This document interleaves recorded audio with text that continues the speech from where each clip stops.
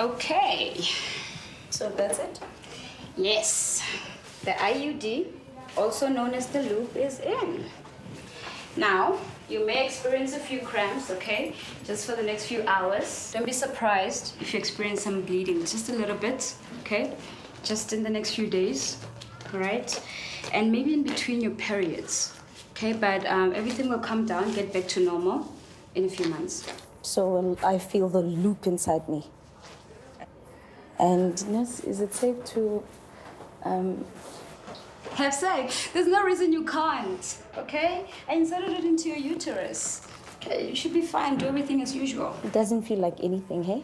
You chose a very good birth control. It's perfect for teenagers because it's so effective. Okay, so you don't even have to do anything. And I won't mess it up by doing anything wrong. Exactly, okay? But you need to condomize, okay? Protect yourself against HIV and STDs. Thanks, sister. Take a look at that for me. Um, what is an intra intrauterine device? An IUD, also known as a loop or copper T. I haven't heard of it before. It acts as an emergency contraceptive, but you can leave it in for continuous protection for up to 10 years and only take it out when you're ready to get pregnant. Okay, and how does it work? Look at that. It is inserted through the vagina into the uterus, and that is where it prevents pregnancy for up to 10 years, depending on the type that you choose.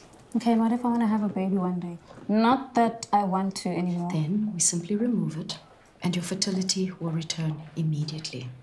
So, apart from some light cramping, some bleeding, and maybe a heavier flow for the first few months, there will be no effects on your body. How does that sound? Okay. Good.